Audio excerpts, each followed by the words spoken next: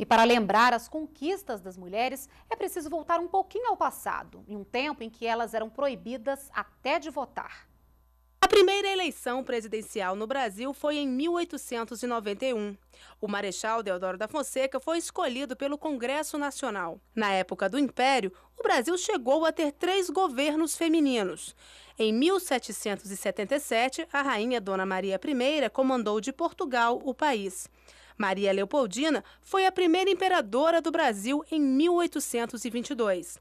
E a princesa Isabel, que assumiu a regência do país na ausência do pai, Dom Pedro II. Mas depois da proclamação da República, as mulheres não administraram mais o Brasil.